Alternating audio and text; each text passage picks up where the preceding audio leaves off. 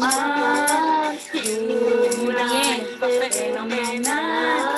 Únanse a la canción. Aquí la naturaleza te brinda todo su amor.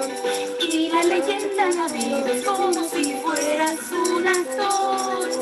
Con historias solidarias.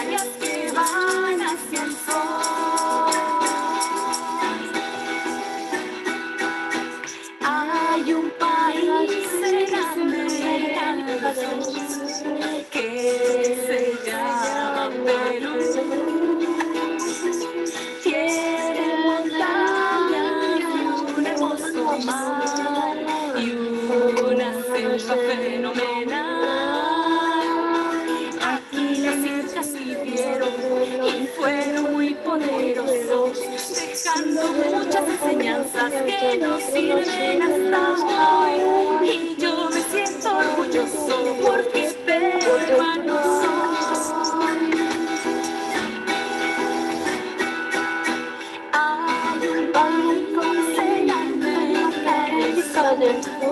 que se llama. Tiene montañas y un hermoso fenomenal.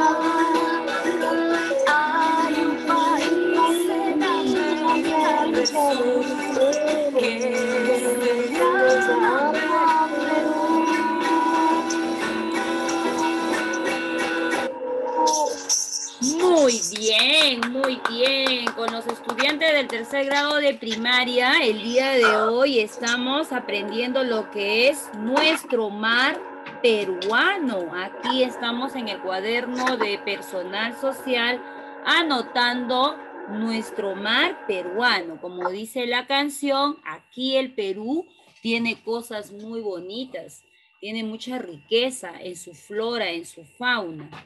Y los estudiantes de tercer grado de primaria en su cuaderno de personal social pusieron nuestro mar peruano, donde anotamos en nuestro cuaderno el mar peruano, llamado también el mar de Grau, ¿no? Porque ahí se dieron batallas.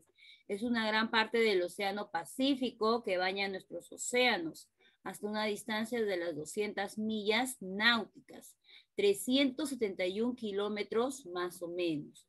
Nuestro mar peruano es considerado como uno de los más ricos del planeta.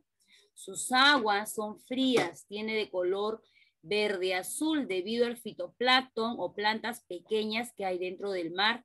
El agua es salada, en ahí hay una especie y una gran cantidad de hábitat, más de 1.700 especies de peces. Nuestro mar peruano está formado por dos corrientes, la corriente peruana o Humboldt y la corriente del Niño, como lo podemos observar aquí un momentito. Corriente peruana de Humboldt, temperatura fría, que se desplaza al sur del norte en nuestro litoral. Corriente del Niño, que es la temperatura cálida, que se desplaza al norte y al sur en nuestro litoral peruano. Muy bien, niños. Así nosotros como buenos patrióticos, buenos peruanos, escuchamos melodías peruanas este mes eh, este mes que estamos celebrando el Bicentenario del Perú y reconociendo aquí en personal social acerca de nuestro mar peruano y más adelante vamos a ver lo que es la costa, lo que es la selva amazónica y todo el territorio del Perú. Muy bien. Ahora vamos